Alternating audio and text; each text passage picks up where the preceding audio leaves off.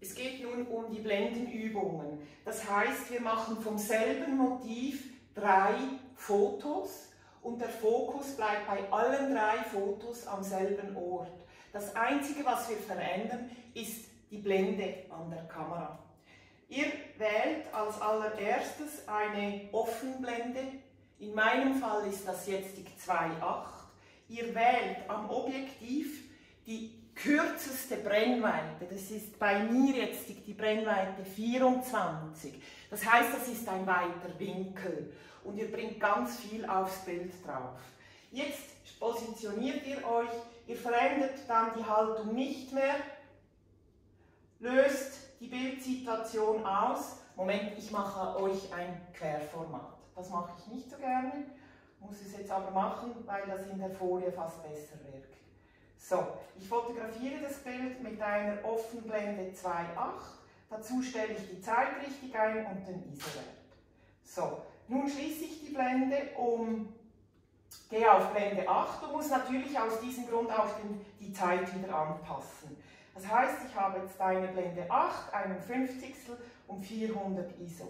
Habe die Position nicht verändert und löse das Bild aus. Nun schließe ich die Blende auf 16 und muss die Zeit natürlich wieder anpassen. Jetzt habe ich eine Blende 16 und eine 13 Sekunde. Das ist wahnsinnig eine lange Zeit und recht ungünstig, um, um aus der Hand zu fotografieren. Warum mache ich es trotzdem? Das ist für euch gerade ein gutes Beispiel. Da seht ihr dann auch die Verwackelung im Bild. Aber zurück zur Übung, die Blende mit Weitwinkel fotografiert. Drei Bilder, weitwinklig fotografiert, einmal mit einer offenen Blende, einmal mit einer mittleren Blende und einmal mit einer geschlossenen Blende.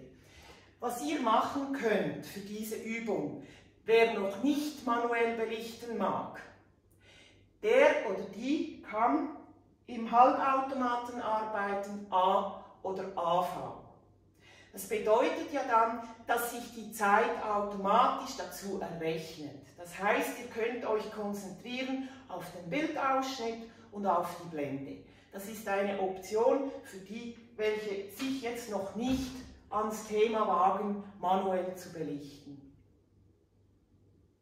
Dann wäre die Aufgabe, ähm, zum Thema Blende schon fast erledigt. Wir schauen uns aber jetzt dasselbe an mit der langen Brennweite. Hier haben wir das Bild mit der Blende 2.8. Achtet auf den Hintergrund. Blende 8 und Blende 16 mit einem Weitwinkelobjektiv. Gut, wie besprochen mache ich genau dasselbe, aber was ich jetzt mache, ich habe hier jetzt eine lange Brennweite, das ist ein 200 mm. Jetzt müsst ihr mal schauen, was passiert, damit ich denselben Bildausschnitt hinbekomme. Ich muss ganz, ganz weit weg vom Motiv. Das heißt, ich werde gar nicht mehr auf dem Bild sein, auch egal. Das heißt, ich stelle mich hier jetzt hin, ich habe euch gesagt, ich mache extra für euch ein ähm, Querformat. Die Situation hier ist einfach zu eng. Das heißt, ich kann hier nicht mit 200 mm fotografieren. Bedeutet, ich suche mir jetzt einen anderen Bildausschnitt äh, und lichte euch das mal so ab. Und ihr werdet dann den Unterschied sehen im Bild. Ich fotografiere wieder mit einer Blende 2.8. Fokus lasse ich am selben Ort. Dann fotografiere ich mit einer Blende 8. Ja, und muss die Zeit wieder dazu einstellen. Ich habe eine 80 Sekunde, 500 ISO. Oh, oh. Ja. Und nun wähle ich eine Blende 16 und muss entsprechend die Zeit wieder verlängern und bin hier auf einem 20. was wieder sehr ungünstig ist für diese lange Brennweite. Das bedeutet, ich habe wieder wieder ein, ein verwackeltes Bild mit dieser langen Brennweite. Heißt, jetzt habt ihr gerade im Video gesehen, ihr müsst wirklich eine, ein Motiv auswählen, bei welchem ihr Abstand machen könnt. Das heißt, ihr braucht etwas Raum für diese Übung.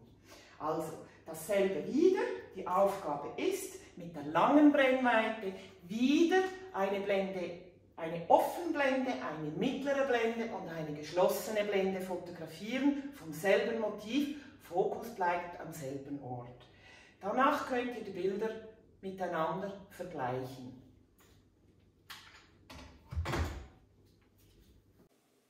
Hier haben wir das, wieder das Bild mit der Blende 2.8, Blende 8, Blende 16. Achtet auf den Hintergrund. Hier sehen wir die Zusammenstellung. Oben haben wir die drei Bilder mit dem Weitwinkel fotografiert. Unten die Bilder mit dem 200 mm. Wenn ihr das vergleicht, Offenblende 2.8 mit dem Weitwinkel und Offenblende 2.8 mit einem Teleobjektiv, dann ist die Wahrnehmung der selektiven Schärfe einfach anders. Das heißt, die Bildwirkung mit dem langen Objektiv und Offenblende 2.8 ist deutlich selektiver als mit dem Weitwinkelobjektiv. Das ist das eine. Das andere ist, ihr müsst nicht erschrecken, die Bilder sind alle gleich hell belichtet.